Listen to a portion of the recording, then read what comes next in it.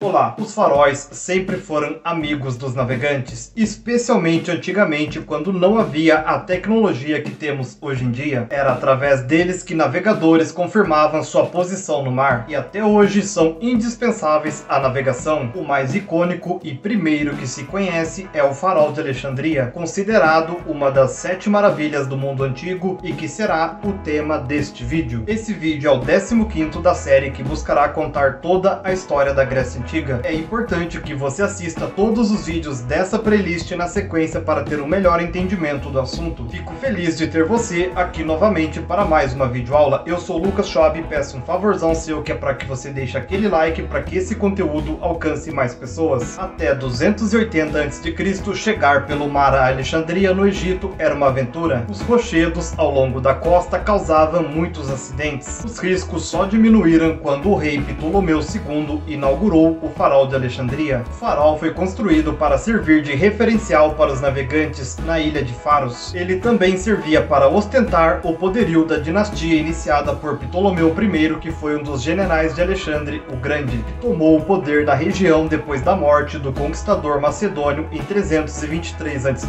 para servir de entrada no porto e informar os navegantes da proximidade de terras, Ptolomeu mandou construir o farol de Alexandria. Este tinha lugar na ilha de Faros e por causa do nome da ilha, todas as construções até hoje com o mesmo objetivo são chamadas de farol. O encarregado da construção em 280 a.C.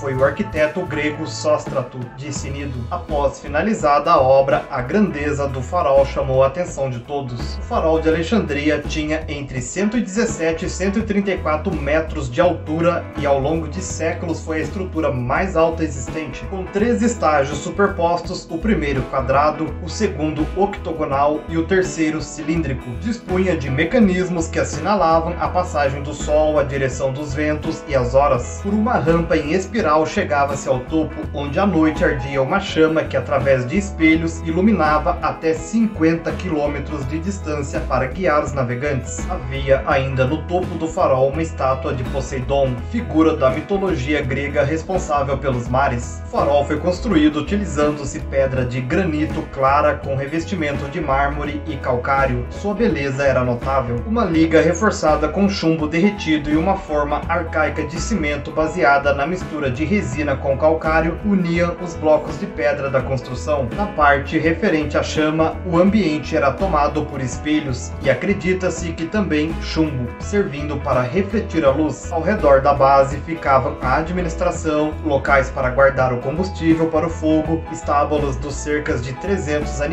como os bois que carregavam combustível, assim como dormitórios e refeitórios dos trabalhadores e soldados que faziam a proteção do local. Os animais subiam até o começo da parte octogonal. De lá, o combustível subia por um sistema de roldanas para o local da fornalha. Nas primeiras torres, janelas ajudavam na circulação de ar para que o fogo queimasse com mais facilidade. É provável que entre administradores, soldados e aqueles que mantinham o farol em atividade, mais de 100 pessoas trabalhassem em sistema de turnos. A bela e gigantesca construção foi durante muito tempo a estrutura mais alta feita pelos homens. Entretanto, no século XIV, um forte terremoto atingiu a ilha de Faros e destruiu o farol de Alexandria. Mais tarde, em 1480, as pedras que restaram da construção original foram utilizadas na construção de um forte, edifício que permanece até hoje no lugar do farol de Alexandria. Em 1994 foram encontrados